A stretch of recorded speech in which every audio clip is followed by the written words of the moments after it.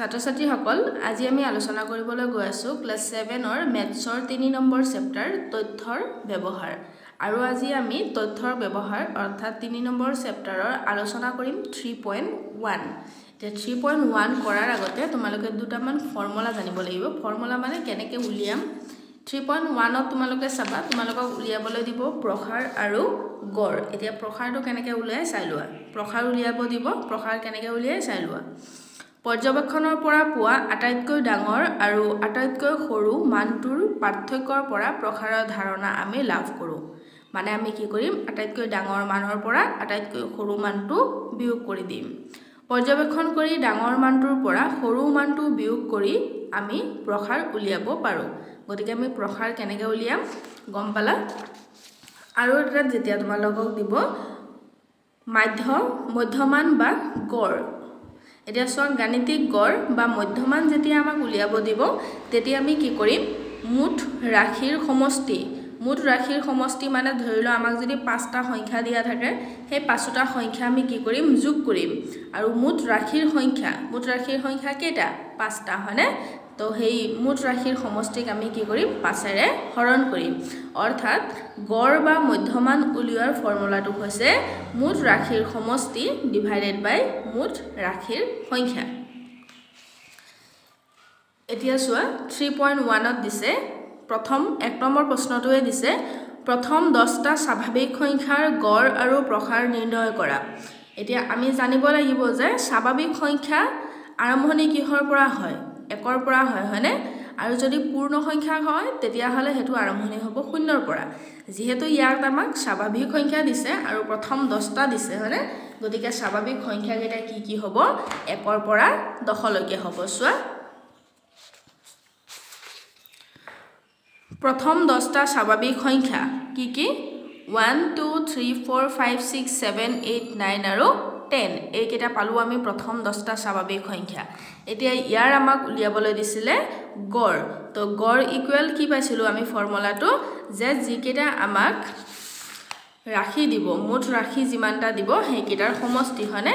আৰু ইয়াত ৰাশিকেইটা হৈছে এইকেইটা এই দহটা ঠিক আছে? এই দহটা গতিকে আমি কি কৰিম? এই দহটা ৰাশি যোগ কৰিম। One plus two plus three plus four plus five plus six plus seven plus eight plus nine আৰু মুঠ ৰাশিৰ সংখ্যা কেইটা আছে? দহটা আছে। তোমালোকে কিন্তু এইটো ভুল নকৰিবা যে এই লাষ্টত মই দহ আছে কাৰণে ইয়াত দহ দিছোঁ সেইটো নহয় কিন্তু। ইয়াত টোটেল দহটা আছে কাৰণে তলত দহ আহিছে।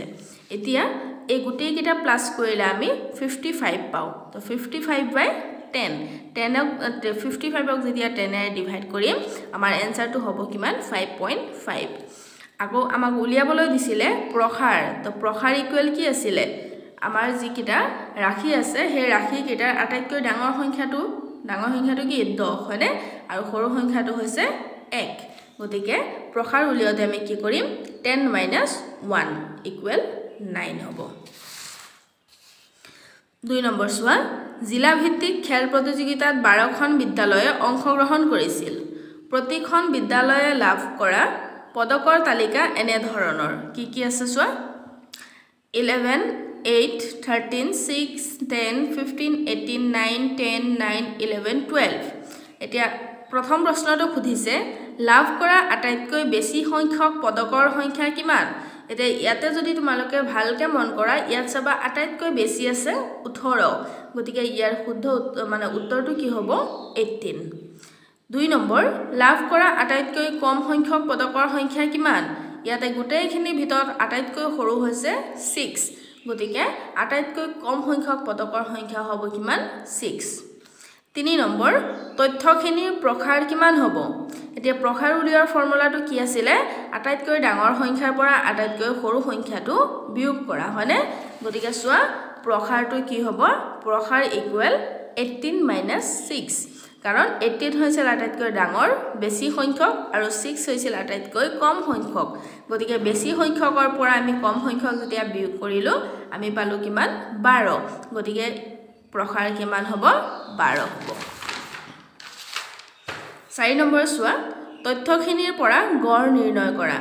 এতিয়া গড় উলিয়াবলৈ দিছে। গতিকে আমি কি কৰিম? গড় ইকুৱেল গড় ইকুৱেল কি হ'ব? গোটেইকেইটা আমাক ৰাশিকেইটা আমাক যিমানখিনি দিছিলে সংখ্যা গোটেইকেইটা আমি কি কৰিম? যোগ কৰিম। কি হ'ব চোৱা? Eleven plus eight plus thirteen plus six plus ten plus fifteen plus eighteen plus nine plus ten plus nine plus eleven plus twelve আৰু মুঠ পদক ইয়াত দিয়ে চোৱা খেল প্ৰতিযোগিতাত কেইখন বিদ্যালয়ে অংশগ্ৰহণ কৰিছিল? বাৰখন হয়নে? আৰু তোমালোকে যদি এই গোটেইকেইটা হিচাপ কৰা এই গোটেইকেইটা হিচাপ কৰিলেও কিন্তু তোমালোকে বাৰই পাবা। গতিকে ডিভাইডেড বাই কি হ'ব? টুৱেলভ আৰু এইখিনি গোটেইখিনি যোগ কৰিলে আমি পাওঁ ওৱান হাণ্ড্ৰেড থাৰ্টি টু তো ওৱান হাণ্ড্ৰেড থাৰ্টি টুক যেতিয়া আমি টুৱেলভ দি ডিভাইড কৰিছোঁ আমাৰ এনচাৰটো ওলাইছে এঘাৰ। গতিকে গড় কিমান হ'ব? এঘাৰ হ'ব। তিনি নম্বৰ প্ৰশ্ন চোৱা। এজন ছাত্ৰই যোৱা মূল্যায়নত লাভ কৰা নম্বৰৰ তালিকা তলত দিয়া ধৰণৰ এশ নম্বৰৰ ভিতৰত। গণিতত ছেভেণ্টি ফাইভ অসমীয়াত ছেভেণ্টি থ্ৰী বিজ্ঞানত এইটি টু সমাজ বিজ্ঞানত ছিক্সটি নাইন ইংৰাজীত ছিক্সটি ছেভেন হিন্দীত ছেভেণ্টি এইট আমাক প্ৰশ্নটো সুধিছে নম্বৰসমূহৰ গড় নিৰ্ণয় কৰা। তো গড় উলিয়াওঁতে কি কৰিম? গোটেইকেইটা নম্বৰ আমি যোগ কৰিম হয়নে? আৰু মুঠ ছাবজেক্ট কেইটা আছে? এটা দুটা তিনিটা চাৰিটা পাঁচটা ছটা। ডিভাইডেড বাই কি হ'ব? ছিক্স হ'ব। গতিকে চোৱা গড়। গড় ইকুৱেল আমি গোটেইকেইটা নাম্বাৰ প্লাছ কৰিলোঁ seventy five plus seventy three plus eighty two plus sixty nine plus sixty seven plus seventy eight divided by total subject কেইটা আছিলে ছটা ডিভাইডেড বাই ছিক্স এতিয়া এই গোটেইখিনি প্লাছ কৰিলে হয় ফ'ৰ হাণ্ড্ৰেড ফৰ্টি ফ'ৰ তো four hundred forty four divided by six four hundred forty ফ'ৰক যেতিয়া আমি ছিক্সেৰে ডিভাইড কৰিলোঁ আমাৰ এনচাৰটো হৈছে ছেভেণ্টি ফ'ৰ নেক্সট চোৱা চাৰি নম্বৰ প্ৰশ্ন।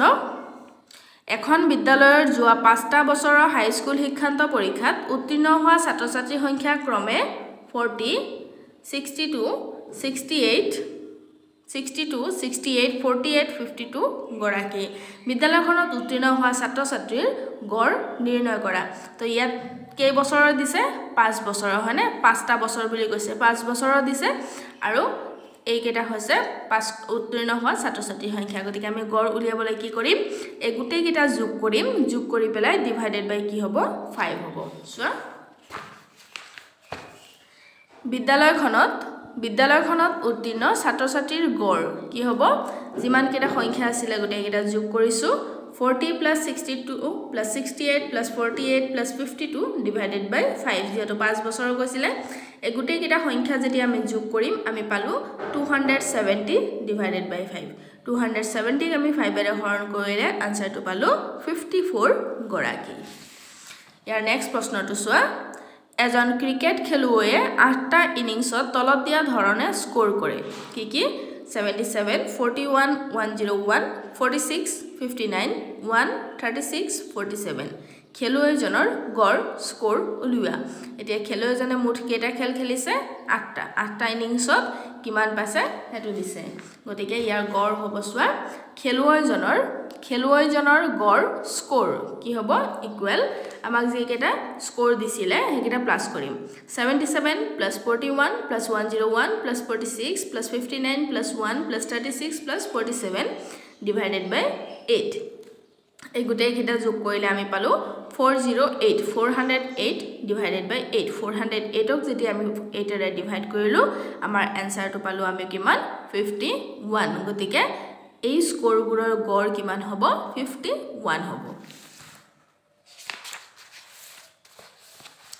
ছয় নম্বৰ প্ৰশ্ন চোৱা। সাতজন ল'ৰাৰ ওজন ক্ৰমে thirty six kilogram thirty two kilogram thirty kilogram twenty eight kilogram thirty two kilogram thirty three kilogram twenty six kilogram. এক নম্বৰ প্ৰশ্ন দিছে ল'ৰাকেইজনৰ ওজনৰ গড় নিৰ্ণয় কৰা? এতিয়া আমি গড় উলিয়াম কেনেকৈ চোৱা? ওজনৰ গড়। ওজনৰ গড় এতিয়া আমাক যিকেইটা ওজন দিয়া আছিলে সেই গোটেইকেইটা যোগ কৰিম কি? Thirty six plus thirty two plus thirty plus twenty eight plus thirty two plus thirty three plus twenty six আৰু যি কেইটা ল'ৰা আছিলে? সাতটা ল'ৰা আছিলে হয়নে ডিভাইডেড বাই ছেভেন এই গোটেইখিনি যোগ কৰিলে আমি পালোঁ two hundred seventeen divided by seven two hundred ছেভেণ্টিনক আমি ছেভেন দি ডিভাইড কৰিলে থাৰ্টি ওৱান কেজি এনচাৰটো আমি কিমান পালোঁ? Thirty one KG. তাৰপিছত আৰু এটা প্ৰশ্ন চোৱা দুই নম্বৰ ত্ৰিছ কিলোগ্ৰামতকৈ বেছি ওজনৰ কিমানজন ল'ৰা আছে? এতিয়া চোৱাচোন ত্ৰিছ কিলোগ্ৰামতকৈ বেছি এটা দুটা তিনিটা চাৰিটা তো ত্ৰিছ কিলোগ্ৰামতকৈ বেছি ওজনৰ ল'ৰা কেইটা আছে? চাৰিজন। কেইজন আছে? চাৰিজন। আৰু পঁচিছ কিলোগ্ৰামতকৈ কম ওজনৰ ওজনৰ ল'ৰা ওপৰৰ তালিকাত আছেনে? যদি আছে কিমানজন আছে? এতিয়া চোৱাচোন এই ভেলুকেইটাৰ ভিতৰত কিন্তু পঁচিছৰ তলত নায়েই হয়নে? আমাৰ মিনিমাম ভেলু আছে twenty six twenty six kilogram কিন্তু টুৱেণ্টি ছিক্স কিলোগ্ৰাম প্ৰশ্নত আমাক দিছে টুৱেণ্টি ফাইভ কিলোগ্ৰামতকৈ কম। আছে জানো? নাই। গতিকে ইয়াৰ উত্তৰটো কি হ'ব? নাই। ইয়াৰ উত্তৰটো হ'ব নাই। ছেভেন নম্বৰ কুৱেশ্যন চোৱা। মীৰাই তেওঁলোকৰ আত্মসহায়ক গোটত যোৱা পাঁচটা মাহত ফাইভ হাণ্ড্ৰেড টকা ছিক্স হাণ্ড্ৰেড টকা ছিক্স হাণ্ড্ৰেড টকা ছেভেন হাণ্ড্ৰেড টকা আৰু ফাইভ হাণ্ড্ৰেড টকাকৈ সঞ্চয় সঞ্চয় কৰিলে। তেওঁৰ প্ৰতি মাহত গড় সঞ্চয় কিমান? ইয়াতে গড় উলিয়াব লাগিব গতিকে চোৱা। মীৰাৰ প্ৰতি মাহত গড় সঞ্চয় কি হ'ব? আমাক যিকেইটা টকা দিছিলে প্ৰতি মাহে কিমান কিমানকৈ তাই কি কৰিছিলে সঞ্চয় কৰিছিলে কিমান আছিলে? Five hundred plus six hundred plus six hundred plus seven hundred plus five hundred divided by কি হ'ব? ফাইভ এতিয়া চোৱা এই গোটেইখিনি প্লাছ কৰিলে হয় two nine double zero' divided by five তো টু নাইন ডাবল জিৰ' ফাইভেৰে আমি যেতিয়া ডিভাইড কৰিম আমাৰ আনচাৰটো হ'ব ফাইভ হাণ্ড্ৰেড এইট্টি টকা। আঠ নম্বৰ প্ৰশ্নটো চোৱা। প্ৰাথমিক বিদ্যালয় এখনৰ শ্ৰেণীসমূহৰ ছাত্ৰ ছাত্ৰীৰ সংখ্যা তলত দিয়া ধৰণৰ। প্ৰথম শ্ৰেণীত টুৱেণ্টি ছিক্স দ্বিতীয় শ্ৰেণীত থাৰ্টি টু তৃতীয় শ্ৰেণীত থাৰ্টি ফ'ৰ চতুৰ্থ শ্ৰেণীত টুৱেণ্টি এইট পঞ্চম শ্ৰেণীত থাৰ্টি এক নম্বৰ প্ৰশ্নটো সুধিছে বিদ্যালয়খনৰ শ্ৰেণীসমূহত ছাত্ৰ ছাত্ৰীৰ গড় সংখ্যা নিৰ্ণয় কৰা।